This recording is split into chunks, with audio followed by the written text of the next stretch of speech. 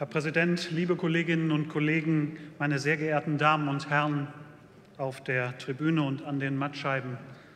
Erinnern Sie sich noch an die Regierungserklärung von Frau Kraft Anfang des Jahres mit dem peppigen Slogan Megabits, Megahertz, Mega stark wollte sie das Land auf den digitalen Wandel einstimmen. Damals hieß es, NRW hat den Anspruch, auch den digitalen Wandel zu gestalten.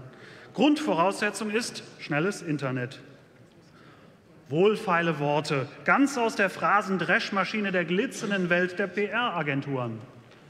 Die Botschaft höre ich wohl, allein mir fehlt der Glaube, mag man dabei an Goethe denken. Die ganze Regierungserklärung war ja eher ein Schuss in den Ofen. Wenn sie auch nur einen Hauch Einzug in das konkrete Handeln der rot-grünen Regierungspolitik halten würde, dann wären wir ja heute ganz sicher schon ein gutes Stück weiter.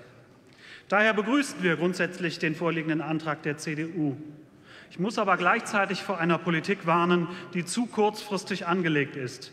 Die digitale Ökonomie, die auf kreative Wertschöpfung und Vernetzung setzt, zeichnet sich eben nicht dadurch aus, dass sie sich auf lokale Gewerbegebiete eingrenzen lässt. Die digitale Zukunft beginnt heute nicht im Industriegebiet, sondern oft und gerade an den Computern in den Heimbüros von Freiberuflern und kleinen Selbstständigen.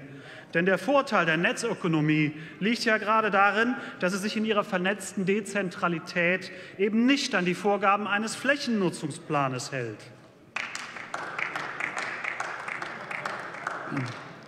Wir Piraten setzen uns dafür ein, bereits heute das Ziel eines weitgehend flächendeckenden Glasfasernetz in die Landesplanung aufzunehmen und mit den Akteuren vor Ort umzusetzen.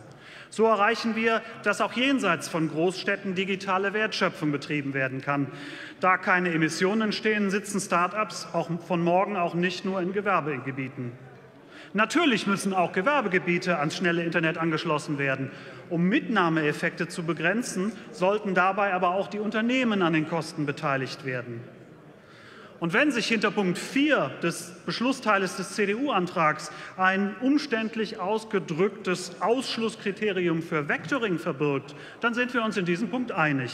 DSL-Vectoring ist nämlich keine Zukunftstechnik und gehört nicht gefördert.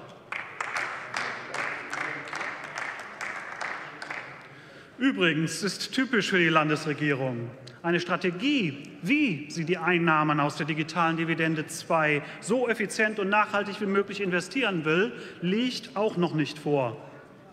Wir meinen, Glasfaser gehört grundsätzlich bis in jedes Haus. Funk kann allenfalls eine Lösung für ganz isolierte Einzellagen sein. Breitbandzugang ist ein Menschenrecht. Dies ist die Grundlage einer wirklichen digitalen Informationsgesellschaft. Nur so können wir Partizipation und Teilhabe an Gesellschaft, Wirtschaft, Arbeit, sozialer Interaktion und Politik im 21. Jahrhundert nachhaltig sichern. Herzlichen Dank. Vielen Dank, Herr Kollege.